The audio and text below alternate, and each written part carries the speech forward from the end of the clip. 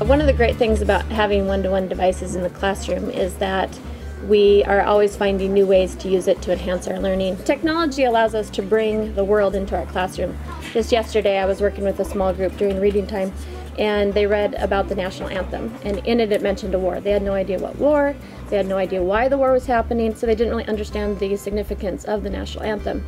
So I was able to say, okay, you have 10 minutes while I work with this other group, go research it. What was the war? Why was why were they fighting it? So they were able to come back and we had a conversation and they had a much better understanding of it. And I know they're going to remember that more than if I had just told them. These fourth graders grew up with technology and they pick up on everything so fast.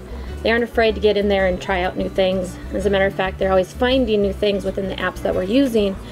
And then they get to teach the rest of the class as well as myself how to do those.